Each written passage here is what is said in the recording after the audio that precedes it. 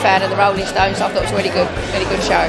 It was absolutely amazing. It was fantastic. Very, very good. Very impressed with it. Definitely come again.